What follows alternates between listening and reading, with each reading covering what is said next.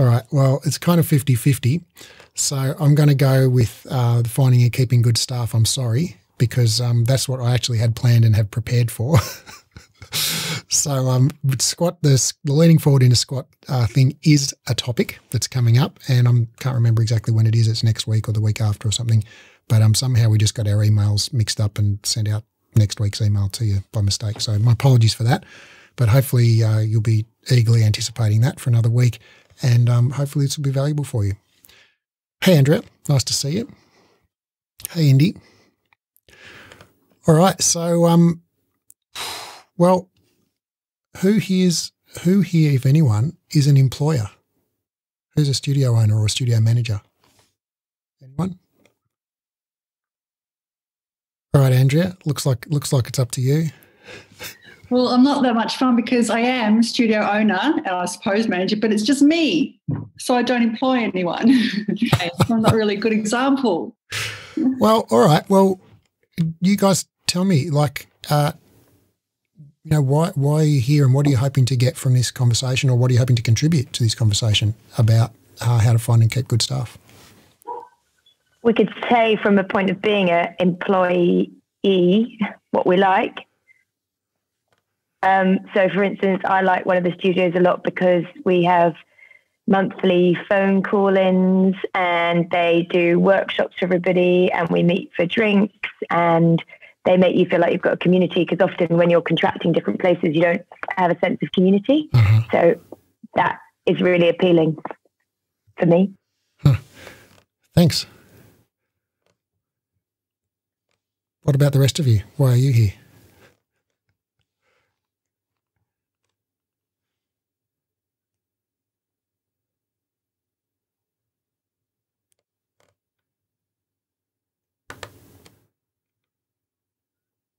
Beck, you said you were excited about this topic. What was what was exciting for you about it?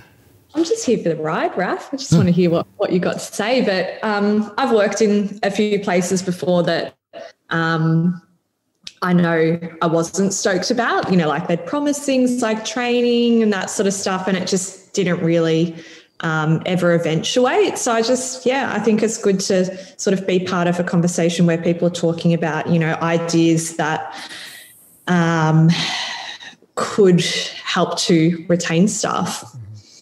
Yeah. Huh. Well, uh, and a couple of you, a couple of people have uh, just joined us. So I'm sorry there were um, a couple of mixed up emails that we sent out, and some of you would have received an email saying we're here to talk about uh, torso lean in a squat.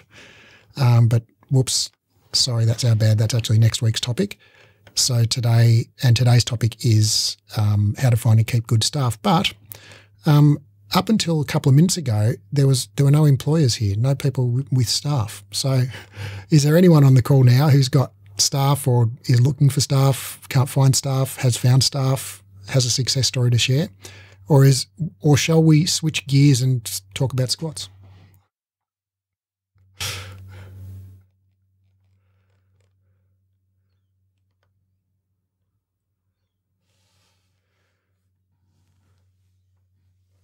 All right. Well, um, let's talk about squats then, shall we?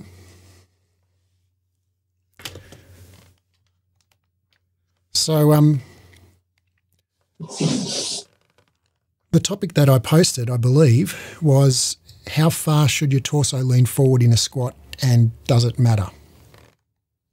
Does that fit with your recollection? Is that what you're here to learn about? Well, what are your thoughts? What are your questions? What are you what do you what what do you understand about this presently? What would you like to understand about this? I think it slightly depends on what you're trying to achieve. Are you trying to do like a ballet style squat in a barre class where they like you to stay more upright, or are we doing more of a deadlifting kind of a squat where that's not how we could lift something? Great question. Depends why what you're trying to achieve by doing your squat. Why are you doing a squat? Probably has important implications. From memory, Raph, I um, listened to your lectures through lockdown. having to do with center of mass and just hip structure as well, variations in that person to person. Mm. So, um, some yeah, that's actually actually what I uh, was thinking of when I posted this topic is that different um, ratios of torso length to femur length, which is your thigh bone, to tibia length, which is your shin bone, to ankle mobility.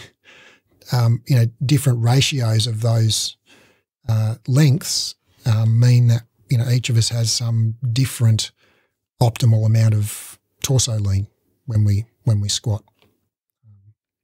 Yeah, so that's the basic premise behind this whole conversation from my end. And I'd like to go into more detail on that. I'm quickly racking my brains to think how I can use my model that I have, um, given that I haven't set up all my cameras for it. So I need a couple more comments from you guys or questions from you guys while I while I think about that. What else? What else? Um, would you uh, you know are you curious about what you know what do you already know about this? Do you have any views on this already? Have you done any reading? You know like what are you why is this topic of interest? for me would be when you deadlift and are we squat is it is that kind of a squat or not? Does that count as a squat? Do you know what i mean? Or is that not a squat? Uh, well i was thinking uh, particularly of an, a squat with some kind of either body weight or some kind of handheld weight, um, like a bar, or uh, a, or you know dumbbells or something like that, or um, a bar on your shoulders. You know, either way. It's I mean a deadlift and a squat kind of are pretty similar. Slightly different range of motion for each joint. Zoe says uh, high bar versus low bar position, pros and cons. Who, knows what that means? I mean, I know you know what pros and cons means, but do you know what high bar versus low bar means? So um, when you uh, when people squat with a barbell, um, high bar means you basically put the bar on the top of your trapezius muscle. So like basically at the base of your neck where your neck meets your shoulders. That's a high bar squat. And then a low bar squat is where you kind of jam the bar further back down. So the bar's kind of halfway down or not maybe a quarter of the way down your shoulder blades. Maybe it's kind of resting on your scapular spines or even a little bit lower. So it's kind of like further down your back. Um, and that's that's kind of the cool kids technique if you're an elite power lifter, you know, doing back squats with a low bar.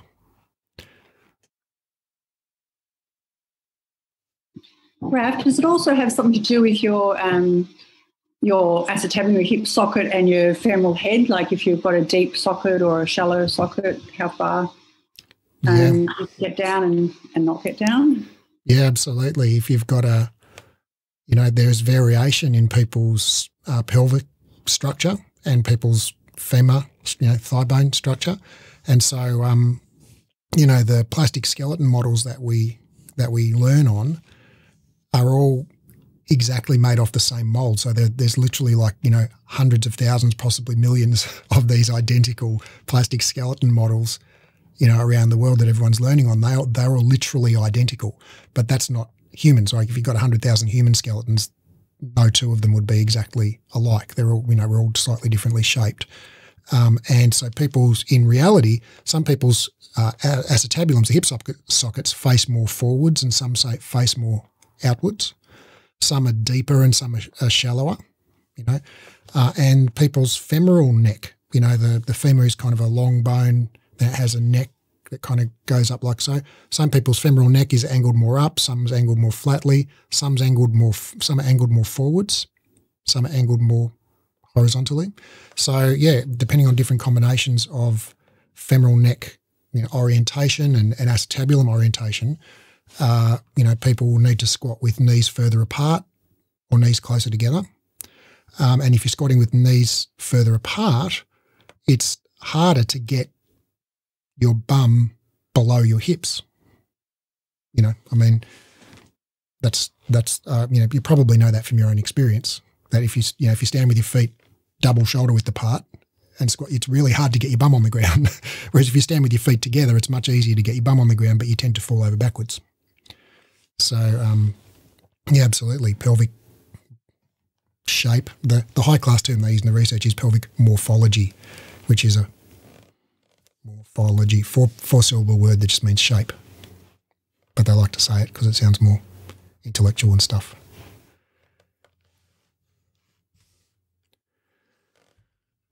All right, so I've been racking my brains, and um, I think I've come up with a potential solution. So um, let's see if, let's see how it works. It's not perfect, but it'll do. All right, so um, I'm hoping you can kind of squint your eyes and look at this and see that this looks like a human from the side. This is a foot and a shin and a thigh and a torso. If you squint your eyes a little bit till it goes a bit fuzzy, just can you kind of see that? All right, and so this is this is a squat model that I um, I saw a guy uh, biomechanist on YouTube using something like this, and I was like, oh, that is freaking awesome. So I asked my brother-in-law, who's a genius with metal, if he could. I sent him the video and said, "Oh, can you make me one of those?" He's like, "Oh yeah." So he made me one. So um, basically, when you squat, Okay, and whether whether it's with a barbell or a dumbbell or deadlift or just your body weight makes really no difference. Um, you've got a center of mass, and the center of mass is just the the midpoint of your mass. You know, half of your mass is this side of the line, and half of your mass is that side of the line. You know, and it's really easy to tell where your center of mass is because if you lean too far one way or the other, you fall over. Right, so you have to keep your center of mass above your feet. If it's not above your feet, you're like a table with only two legs and you fall over. So, um, so when we squat, as when we walk or stand or whatever, we have to keep our center of mass above our feet. Um, and so if we take this point here to be the center of mass, like where the where the this vertical pole is, um, you know, in uh, most humans, the center of mass is, you know, depending on your body proportion, some people have more weight in their legs, some people have more weight in their torsos, you know, it's kind of varied. But somewhere between here and here is your center of mass. So, like, you know, half of your weight is below that point and half of your weight is, you know, above that point. Um, and so, you know, we've put the center of mass here at this point here, which is, you know, it's roughly there. Okay. Now, if you had a barbell on your shoulders, well, your center of mass would be higher, wouldn't it? Because you have more weight on your upper body. Right. But if you didn't have a barbell on your shoulders, you sent, you know, and you just were body weight, your body, your center of mass might be a bit lower. Okay. So it's kind of, it varies. So as this person squats down, and we'll call this an average person, okay, well, you can see that their, their hip has to go backwards in order for their torso to get down because if the hip doesn't go backwards, the torso comes forwards. You know, so in order for the torso to stay in line with the center of mass, the hip's got to go backwards. On the other hand, if we reduce their ankle mobility, say, by adjusting my little screw here,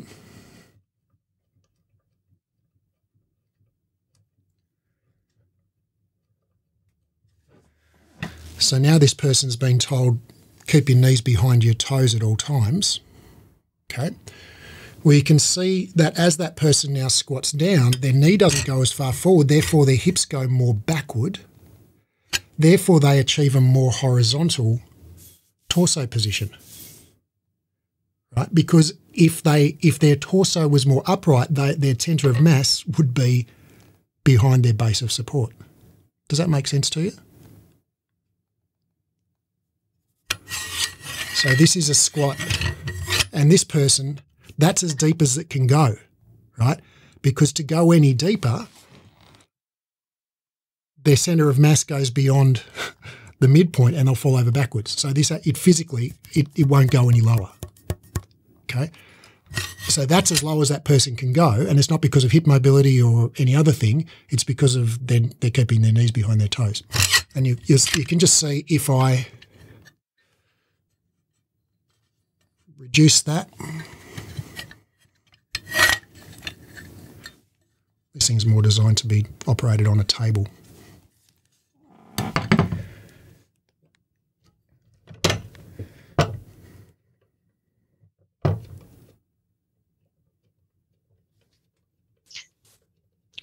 So, Raph, would that be the situation with someone who has um, restriction in their ankle joint? They would therefore have to lean further forward yes. to get down in their squat.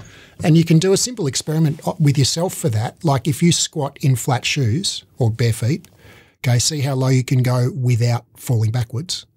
Okay, and then if you stick your heels up on a, a foam block or, you know, one inch thick wedge or something like that, and so your heels are raised an inch, you can you'll definitely be able to squat lower without falling over backwards. You know, like as you squat down body weight, you know, you need to stick your arms out forward most of the time so that you don't overbalance backwards. What I'm saying is with your heels raised up, you can go further down with less arm movement. And that's because your knees go further forwards. Okay, so now if we increase the distance that the knees can go forwards here, okay, as we squat down, we can keep an almost vertical torso, okay, and go a lot deeper, okay, because there's more ankle dorsiflexion, therefore more forward knee travel, therefore the center of mass is further forward, therefore the butt doesn't have to go as far backward, oh, sorry, therefore the torso doesn't have to go as far forward to compensate. The butt's not going as far backward, therefore the torso doesn't have to go as far back, as far forward. Okay. So, and if we simply take the knee backward, you can just see here, as we take the knee back in space, the hip goes back in space and the torso has to lean forwards to compensate. Okay. And so for somebody keeping their shins vertical, that's their deepest possible squat. I mean, try it sometime. Like, try keeping your shins vertical and see how deep you can go without holding onto something to stop you falling over. So does that concept make sense that like it's it it might be ankle mobility for this person, or it might just be that they've been told, you know, don't let your knees go forward in your squat. Does that concept make sense to you? Do you have any other questions about that?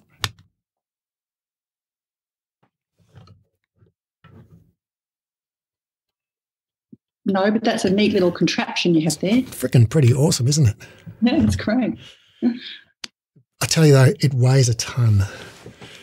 This is a good shoulder workout. All right, so now this person's got what I would consider to be, you know, more like, you know, average-ish ankle mobility. You know, most people's knees go roughly kind of sort of that far forwards, okay? Um, but what if we give them longer femurs?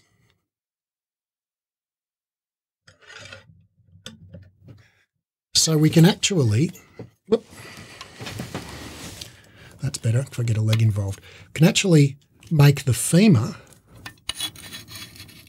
longer there, right? Now, no one's in real life got a femur that's like, you know, double the length of the average femur, okay, compared to their tibia. But, you know, just to illustrate a point, okay, so if we make the femur longer and then we squat down, what we find is because now the femur's longer, well, the butt is further back in space, right? Therefore, the weight goes further back in space. Therefore, the torso needs to lean more forwards, right? And therefore, that is as deep as that person can squat because if they go any deeper, they'll fall over backwards.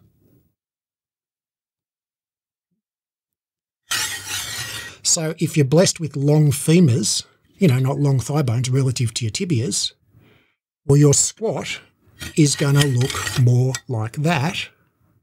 Okay. Whereas if you want to be an elite Olympic weightlifter, okay, and squat really deep, well, you're going to have to choose parents who've got short femurs so that you can squat like that.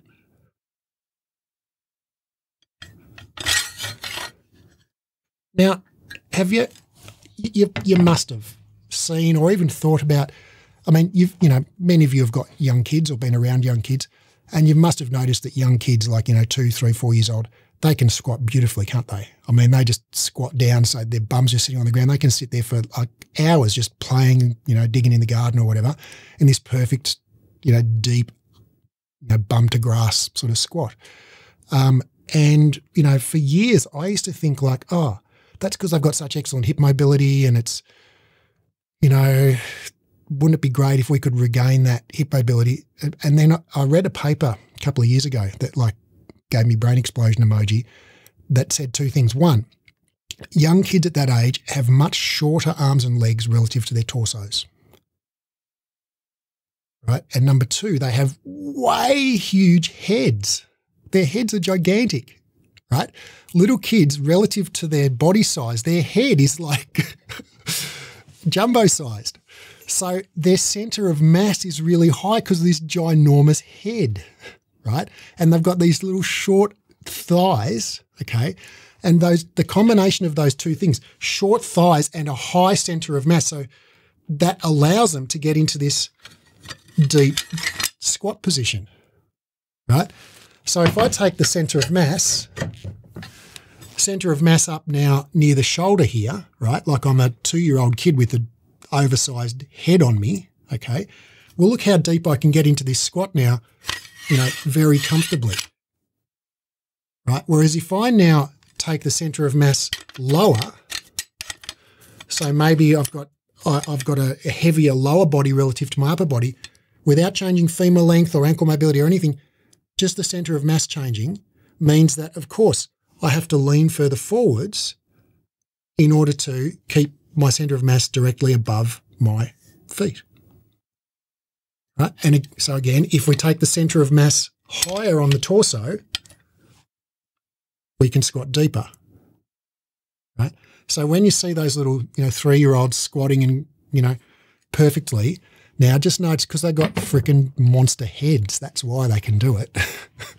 it's it's not because of some like superior, you know, thing. I mean, sure, being able to suck your toes probably doesn't hurt how deep you can squat, but uh, it's having short femurs and a big head that's the real, the real, uh, you know, one weird trick to uh, squat deep if you're a three-year-old.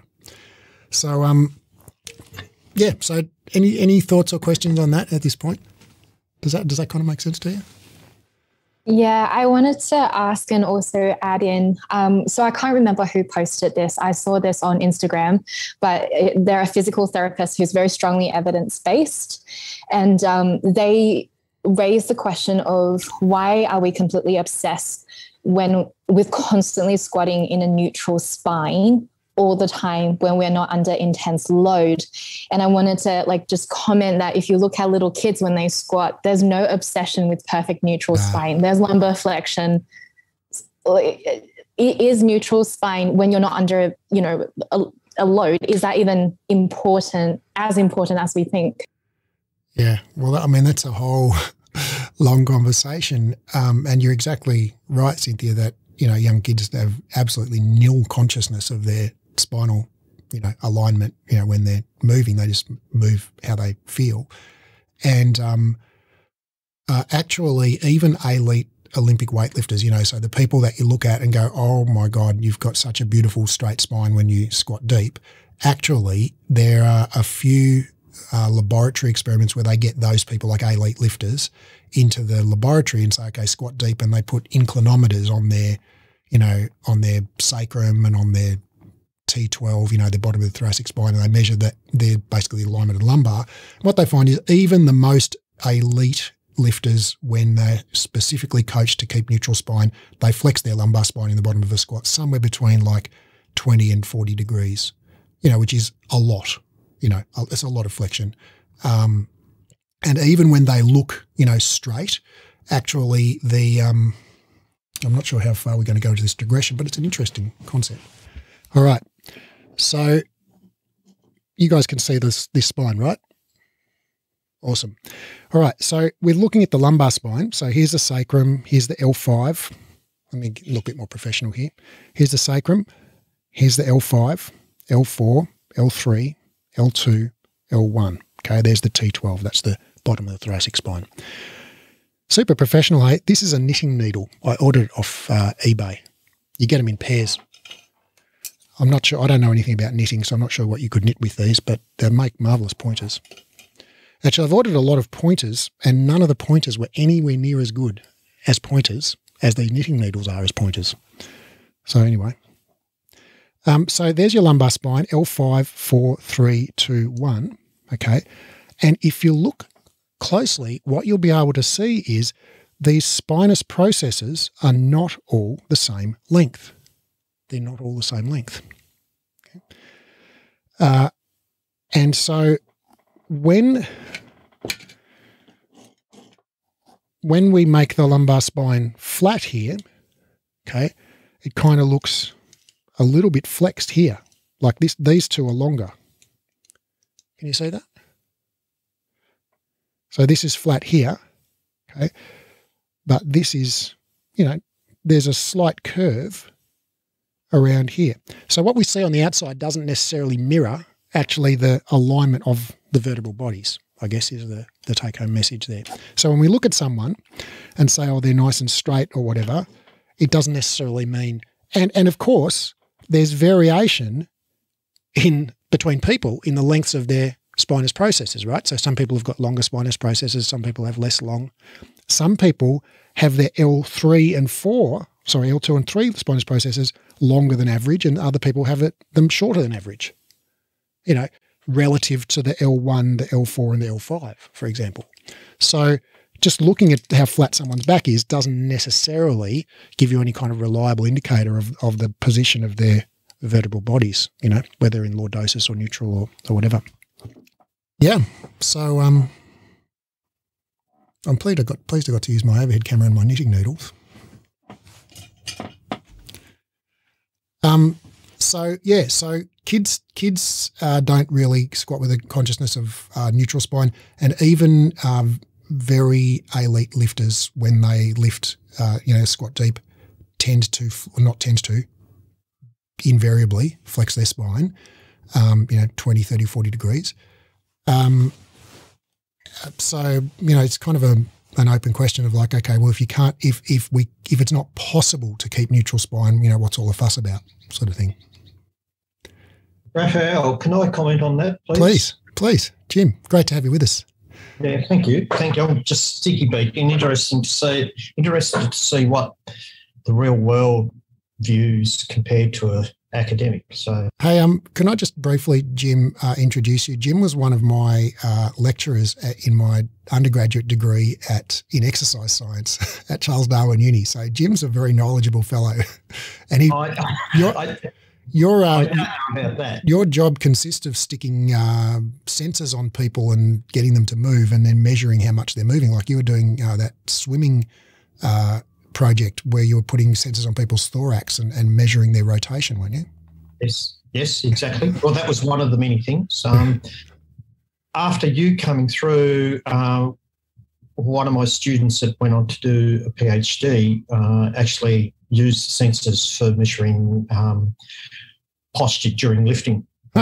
uh, to take it out into the workplace situation environment. So uh, there's a little bit of overlap here with that. But relative to neutral spine and so forth, it's just, I think it's worth for people to keep, bear in mind the kids are highly flexible and elite athletes are highly trained. So you've got two opposite extremes, and the general public tend not to. Excuse me, I've got. As soon as I start talking, the phone rings. But um, uh, but anyway, um, the that that people's uh, intervertebral discs are not conditioned for it, so you have to be careful of of of encouraging people to flex their spine because theoretically the vertebra are meant to be parallel to one another, and you know they're designed that as they curve, that the that the discs, um, uh, uh, the the vertebra, sorry, are not parallel the top of the vertebra to the the uh, underside of the vertebra, and they're slightly um, wedge shaped, so the discs remain parallel, uh, and that's that's the concept behind, or the concept principle within the gives us that curvature of the spine, and having people uh, flex their spine and they're not conditioned to do it, you could have their discs herniate or, or, or, be injured in some way or another. So it's just a comment of being very careful. I'm not saying don't do it, but just be very mindful that of, of what can result um, if if some old fart like me goes and tries to to flex my spine and and then I end up doing a disc or something like that. It's it's it's you know it's it's my it's being mindful of what who your clients are, and I'll shut up there. So. Hey Jim, thanks so much. It's so awesome to have you on the on the call. And it's great to see you. I, I haven't seen you for a few years now since since I graduated, and so it's really yeah. great to have you. Yeah, well, thank you. Am I allowed to embarrass you? Oh well, it's not preferred, but you know, you're you're your own person. when I first come up here and I was doing functional anatomy, uh, which is one of the subjects I teach, I had an assignment that I, have told Raphael this before, but I had an assignment and I the the quality of the work was so high, the quality of the writing and, and what had been uh, referenced and how it was referenced and how it was written, I was convinced that there was plagiarism, that, that it wasn't uh, the student's own work. And I hunted and hunted and hunted and tried to find the, the, information where it was taken from, and I couldn't. So I gave up and I marked the, the student appropriately, which was a very high mark. Come to the end of semester exams where there's no access to books or anything, same type of work came out with references. Uh, and I was blown away. And that was Raphael. I've never seen it before. Uh, I've never seen it since. Uh, so you've got a guy here that's highly, highly capable. Uh, and, you know, what he says, I think you should take um, uh, notice of considerably. So there, there you go, Raphael. I've, hmm. I've, I've blown your trumpet for you, but uh, it's, it's, yeah, it's it's incredible. I keep telling people about it now because it still amazes me what you did. Hmm. Well, of all the embarrassing things you could say, that wasn't that wasn't that bad. You know, you didn't tell them about the time I wet my pants in class or anything like that. So. um, yeah. So, what about the rest of you guys? Uh, anything? You know, any uh, questions, thoughts, input? Uh, has that sparked? You know, any trains of thought for you? Going to be encouraging your clients to squat like babies?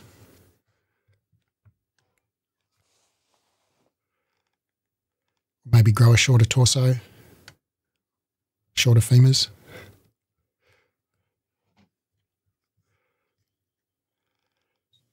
I'll, I'll ask one question then, if, if no one else is, just, just as a point of interest to see what people come up with. What you're saying about young children and, and, and so forth being able to squat naturally, and the explanation of it was a very good explanation that hadn't even occurred to me before. So I learned something there. But our inability to squat seems to be more prevalent in Western societies and Western cultures. And in other parts of the world, you see people right through their whole lifespan squatting. Um, you know, squat to talk rather than sit on chairs to talk. What's your thoughts there? Um, well, I haven't seen research on this, but I've seen Stu McGill um, present a bunch of times on this topic.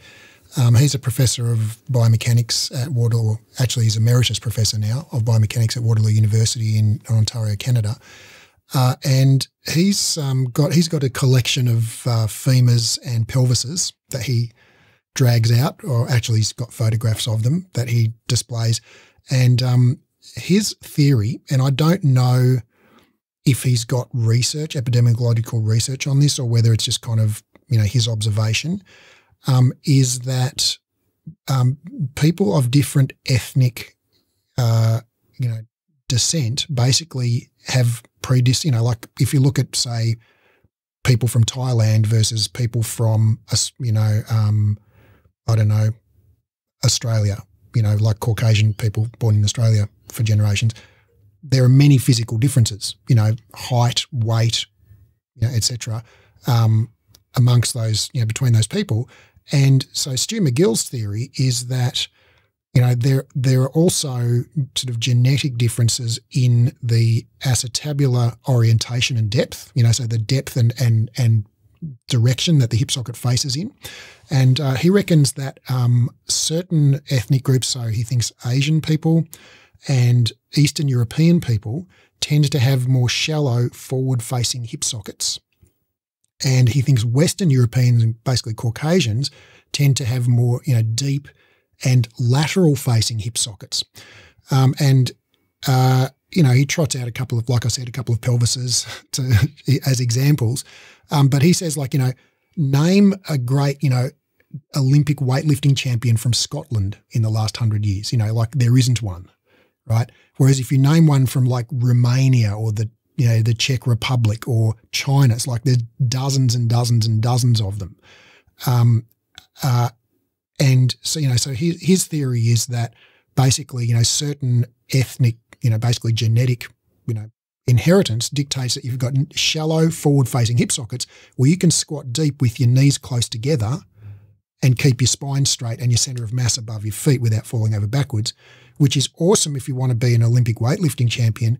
But it probably uh, also predisposes you to, you know, hip injuries in a deep yoga pose, you know, um, and stuff because you've got that sort of additional mobility. You probably, you know, have less um, structural integrity in that joint, you know, at extreme positions. And so he, you know, his theory is that that's why we we're never going to see a you know a rash of squat, Scottish you know Olympic weightlifting champions, but that those you know those Scottish people with sturdy hips you know for striding the highlands they they produce you know maximum torque at a shallow angle of hip flexion you know so when they're basically in that kind of this position here where you're kind of in a quarter squat you know, which is basically the position of athletic, you know, when you're running or playing football or whatever, it's like that, the crouched, semi crouched position.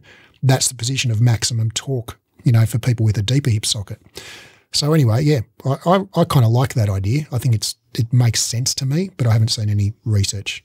I've just seen some really cool looking slides with people's femurs with different length femoral necks. You know, people with really long femoral necks. It's like, well, their their greater trochanter is going to bump into the the pelvis, you know, earlier, you know, during hip flexion or hip abduction. So yeah, I think I mean it, it, I can't. It just seems very plausible to me that explanation. Have you come across that? I haven't. I haven't looked into it myself very much. I'm actually at the moment. Uh, I'm doing a lot of early uh, early human uh, hominid and hominid um, uh, uh, literature searches and so forth to try and find it. And that it sort of fits, it doesn't fit in exactly what you're saying, but what, how the hip and the pelvis um, and the femur have evolved uh, for load bearing, for standing upright and so forth is, is um, what you've just explained fits into the to a lot of the literature that what I've been reading about. Yeah, so, I've actually got a couple of slides on it here. Um,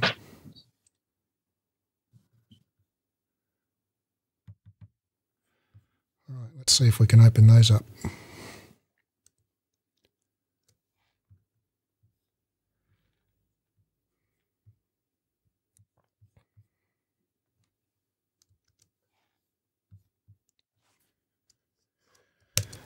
All right. There we go. It's almost like I prepared this earlier. I did, but this wasn't what I was going to present today. This is something I created for a course I did a year or two ago. So, um, I'm not going to give you the whole lecture, but basically, yeah, humans are different shapes. Uh, this is this is a great. I love this series. Uh, incidentally, um, and you may have seen this, some of you, like this is, these are all Olympic athletes, like literally people who were in the Olympics, right? Obviously for different sports, you know, like you look at those people and, and you could probably guess which ones were the gymnasts, you know, which ones were the, the speed and power athletes, you know, like the shot putters or the, you know, the hundred meter sprinters. Okay. which ones are the marathon runners, which ones are the basketballers. You know, you could probably take a reasonable guess at just based on their body shape, right? And some of them have got their sumo wrestling gear on, so that's a bit of a giveaway. But isn't it amazing? These people are all elite athletes. Look how different their body shapes are. It's incredible, isn't it? I mean, I showed this to my daughter like every night when I read her to bed, you know, when she was little, because uh, I just think it's wonderful.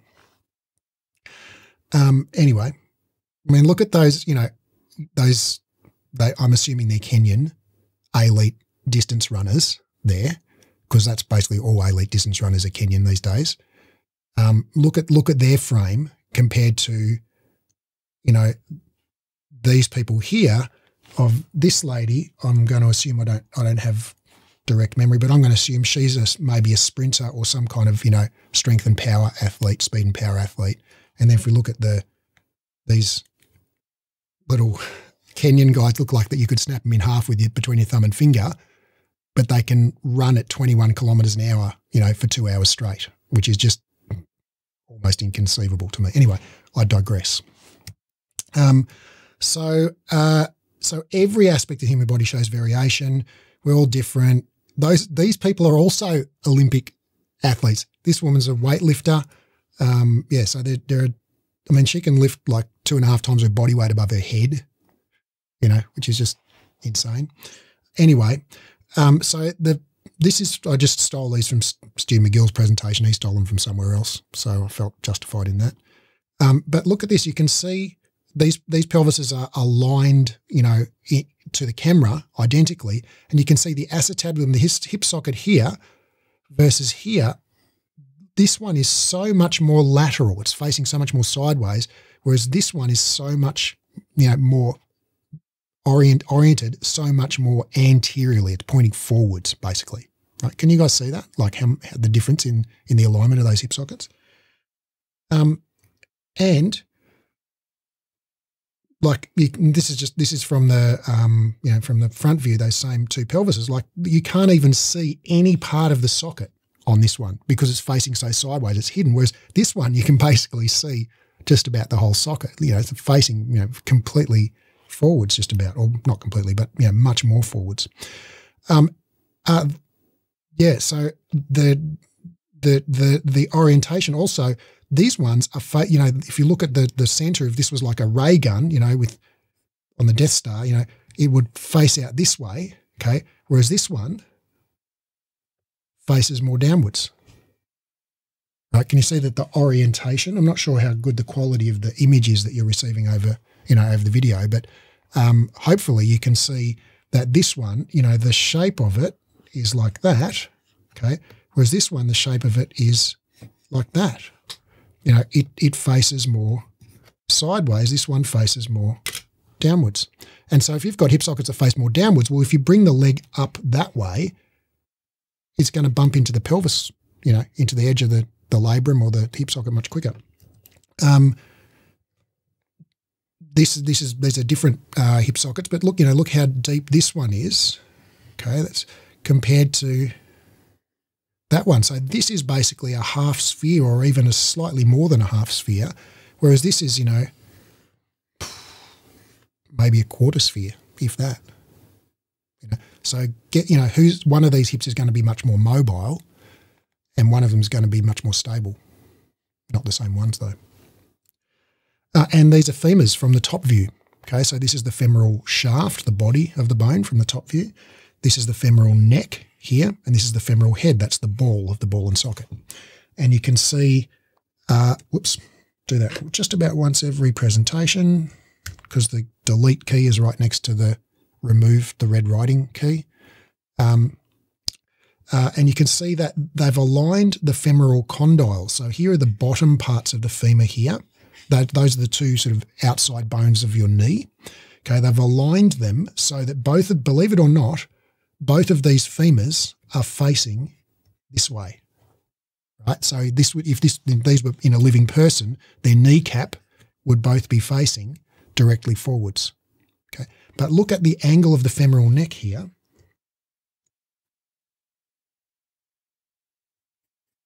I mean, that's quite a dramatic you know, difference, right? And so, you know, one of these people is going to have a lot more turnout than the other one. and one of them's going to be, you know, their ballet teacher hitting him on the back with a willow switch, you know, every lesson going, you know, turn out from the hips more, not from the knees. And they're going, I can't. And yeah, it's, it's true, they can't because their, their legs face more sideways, right? Whereas this person, when they're standing, you know, with their legs forward, they're already, you know, they're, they're, they're already turned out a bit there in the hip. Um, and the angle of the femoral neck relative to the vertical. You know, this one's more horizontal. This one's, you know, more vertical in a more vertical direction. Uh, the length of the femoral neck. This is a short femoral neck, much longer femoral neck. Okay, so all of these things, like if you've got a, you know, a hip socket here, okay, and then a pelvis, hip socket here, and then a pelvis, well, this longer femoral neck, as you abduct, this is going to bang into there a lot quicker. Um, so yeah, that's that's one of the many reasons why people don't squat the same. I reckon, but don't have any research on it. Sorry, no citations. But I do have a citation on the baby head thing. Would you like to see the baby head citation? It's got photos as well. Not photos, but.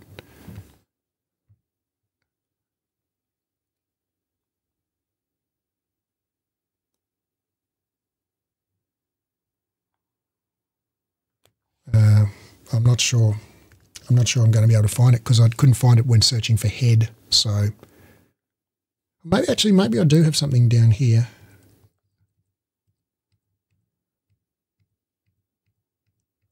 No, I don't think. Oh, yes, I do. I, have got a citation. This is from uh, Huelke, 1998, an overview of anatomical considerations of infants and children in the adult world of world of automobile safety design. So this was they were looking at like you know seatbelt design and stuff in cars, and you know how how how high to make the seatbelt so it didn't decapitate kids, presumably. But what they found incidentally was look at the proportion of height taken up by the head of a newborn compared to an adult. Right? Newborns are all head. Isn't that amazing? And look at the length of their legs, you know, of a newborn relative to an adult. So newborns have way bigger legs and uh, sorry, way bigger heads and way shorter legs than adults. Shorter femurs. The tibias are not that much shorter. So isn't that interesting? Maybe I've got a photo of a kid squatting here. Yeah. See her short little femurs and a big head? All right, anyway. So, thanks thanks for that digression, Zoe and, and Jim. Well, I think it was Zoe who brought up the, the hip socket thing. If it wasn't, apologies to whoever it was. Yeah. Uh, yeah, Zoe says, uh, yeah, a bunch of people have said, yeah, Mel says you get good at what you practice, 100%. Um, and there is there was that recent uh, systematic review that came out only this year. Uh, the name of the author escapes me, um, but I'll post it in the in the comments under the video when we do the the Facebook. Uh, uh we, we post the recording in Facebook. There was a, a systematic review of strength training um, compared to stretching for range of motion. They found that strength training done through full range of motion results in the same increase in range of motion as stretching. And so, absolutely, you know, if you regularly squat, you know, with body weight or, you know, weights or whatever, well, you're going to get better at squatting deep because your body's going to adapt to those, you know, extended muscle lengths and, and joint positions. Um, uh, and Zoe says, Does, Do yogis have more hip problems? And Actually, I do have an answer to that. I can't remember it off the top of my head. But uh, let me just look it up.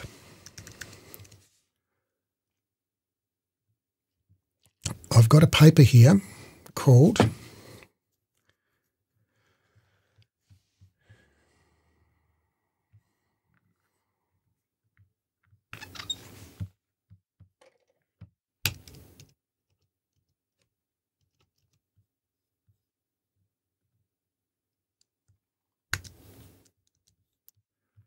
see if I can get this down here. Not sure if I can. All right, I'll just read it to you. It's called Injury in Yoga Asana Practice Assessment of the Risks by Weiss et al. Uh, 2019. And what they said, uh, they studied a total of 2,620 participants in yoga. Uh, they found the number of injuries reported by yoga participant per years of practice exposure to be low, and the occurrence of serious injuries in yoga to be infrequent compared to other physical activities, suggesting that yoga is not a high risk activity. So, good news for the yogis in the room. Um, and I think they said uh,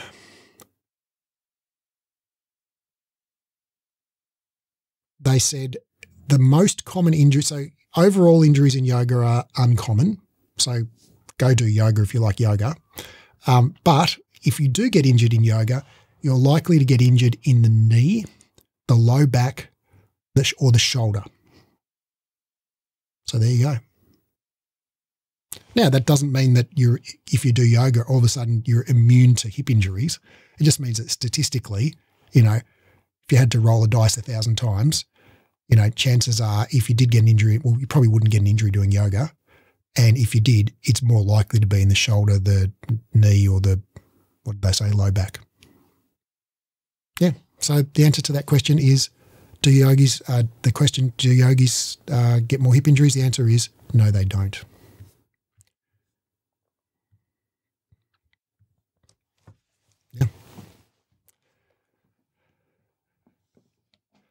But they, they do believe in weird things more than the average, I think.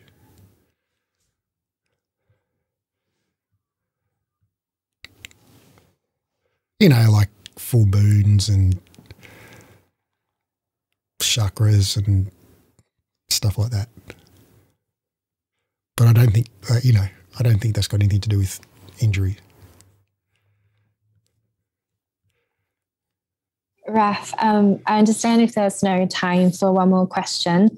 Um, I just wanted to like loop it back around to, you know, like in the context of teaching a Pilates class, be it reformer or mat, where you're not really doing heavy weights. If anything, you've got like two pink 500 gram hand weights at best, right?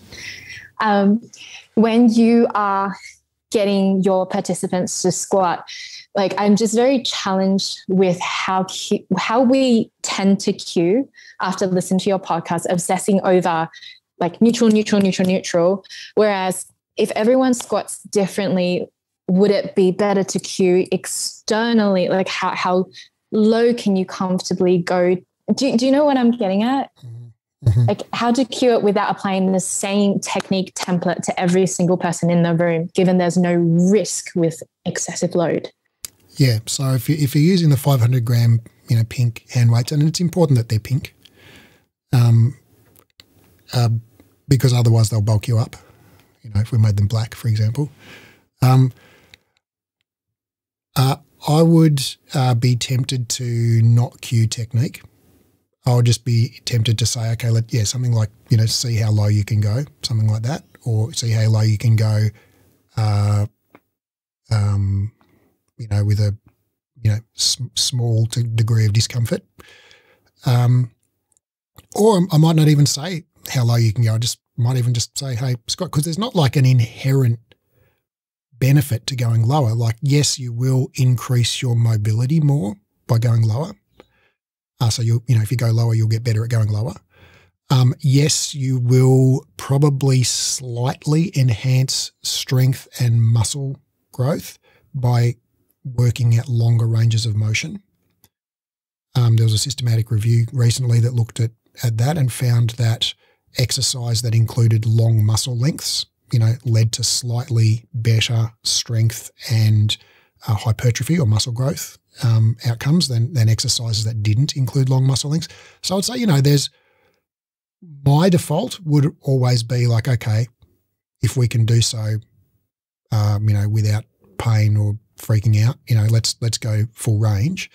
But you know, the the the amount of benefit is not massive. It's you know, it's like, okay, if you're an elite athlete and every you know, quarter of a percent is going to the difference between gold and fourth place, well, yes, you know, it really makes a difference. But if you're someone who does, you know, two 45 minute Pilates classes a week and you're, you know, realizing 15% of your maximum physical potential, well, adding another quarter of a percent, you know, one way or the other doesn't really make much difference. So I'll just say, like, well, you know, do it however you want to do it.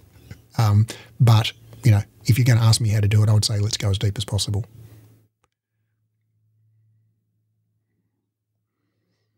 Thank you. I just, I had clients with mothers who just want to be able to bend down and pick up their child. Yeah. And this question actually came up with a mother saying, I can't pick, my, pick up my child with a perfect neutral spine. Like I need to just sit down and pick them up how I pick them up.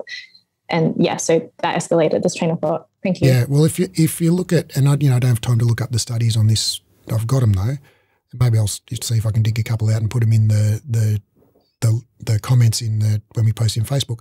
But if if we look at ecological um, like observational studies where we basically just go and look at workers working, you know, um, and see how they lift, uh, what we find is that people uh, uh, basically use what's called a stoop lifting strategy by default. You know, so if we if we're not telling people how to lift, if we just say if we just like be a fly on the wall whilst they're they're working in a factory environment or whatever, um, the majority of people adopt a stoop lifting strategy, which is basically you keep your legs relatively straight and you kind of bend at the hip and the back.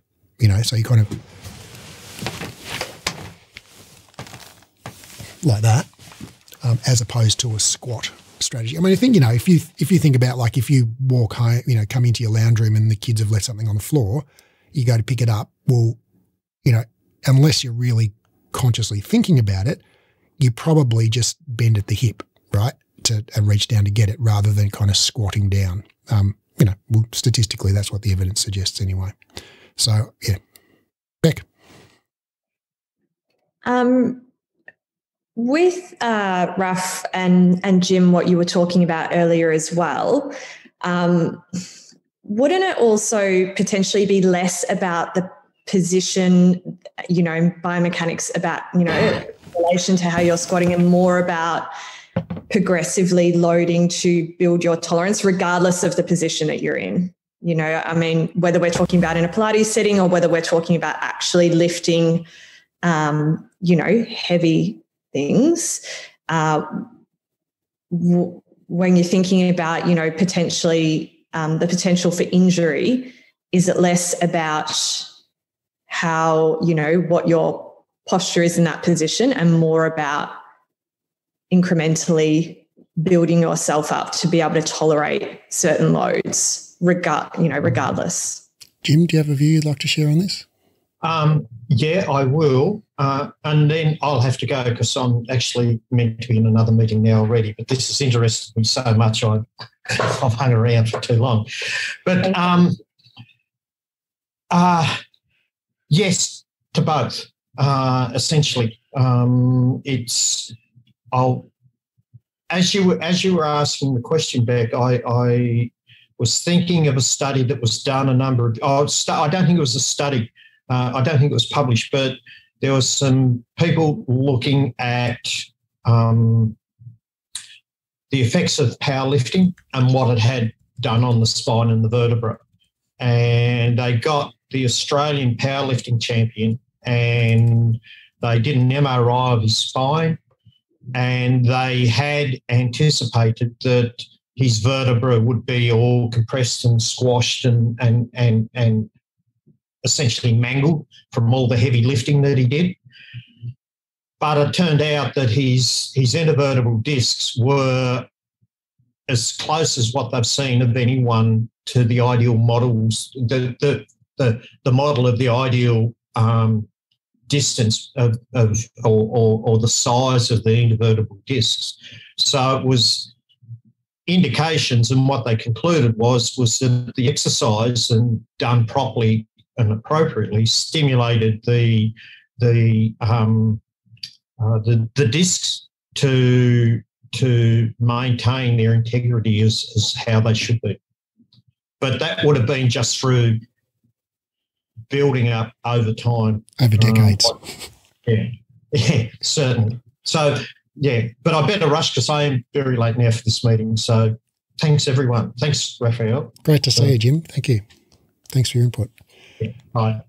Um, yeah, Beck, I'm going to ag- agree furiously with Jim there that um, I haven't, I, I'm interested. I'm going to try and track down that study now. Um, but uh, everything I've read, so we, we actually, we know that um, elite, we've only got indirect evidence on this, you know, and I think it's fair to say that it's an open question and that there are strong views held by intelligent people on both sides of the question. Uh, my view falls on the side of like, it, I'm, I'm very, uh, I'm very unconvinced that alignment makes much difference to injury risk. Um, we have, uh, you know, a few indirect lines of evidence that I find pretty compelling. One is that, uh, like I said before, we've got very, you know, quite a few studies. I can think of three or four studies off the top of my head of elite uh, powerlifters and weightlifters showing that when they lift, uh, you know, approach, you know, maximum lifts like above 90% of their maximum, that everybody adopts a, a flexed spine strategy. Um, and that we know that powerlifting, Olympic weightlifting are very safe sports. Like the incidence of injuries in those sports is very, very low. It's like up right up there with ballroom dancing. You know, it's it's they're very, very safe sports. Uh, if you want to do a dangerous sport, try netball. Netball is freaking intensely dangerous. You blow out your knee just because you catch the ball, stop, change direction. Um, uh, so yeah, so we know that that powerlifters particularly flex their spine a bit, and it's a very safe sport. Um, also, I've got some those those lab experiments from the early two thousands from McGill and Callaghan, and there's some some from the the mid 2010s from Gooyers and Dolan and Kingma, which all basically sort of lab studies where they look at spine segments in jigs and you know compress them and bend them or whatever. What they find is that uh, compression is the main predictor of of disc uh, or vertebral injury. Um, so, you know, more force equals more chance of injury, basically, regardless of the alignment. But the alignment predicts the location of the injury. So, like Jim said before, if you flex, you're more likely to damage your disc, right? But you're not more likely to get injured because if you don't flex, you're less likely to damage your disc, but you're more likely to damage your end plate, which is the, the end of the vertebra, you know, the top or the bottom part of the vertebra where it uh, joins onto the disc. So bending or not bending doesn't change your injury risk uh, as, you know, as I read the evidence. It changes which part of you is more likely to get injured if you do get injured right? So if you lift, you know, what what I think what causes injury risk is lifting too much, you know, putting too much load through the system that you're not not uh, you haven't built a tolerance for. Um, so, uh, but and when you do put too much load through the system, whether you're bent or straight determines which part is going to get injured, right? But it, but you're going to get injured regardless if you if you well, not going to, but it's like you're more likely to get injured regardless if you you know, exceed your current load capacity. So basically, what Jim said and what a bunch of you have said as well, build it up gradually over time, build up a tolerance to it, build up a tolerance to load in the position that you're going to be loaded. You know, because when you flex more, you load the disc, well, relatively, and when you flex less, you load the end plate. So if you practice in a in a straight spine, you build up stronger end, end plates, right? Whereas if you practice more in a bent spine, you build up stronger discs. So, you know, whatever you want to build up tolerance for, you've got to practice doing that exact movement, you know, but you've got to start small and gradually build it up because these tissues take, you know, months and years to adapt, you know, not days and weeks. Yeah.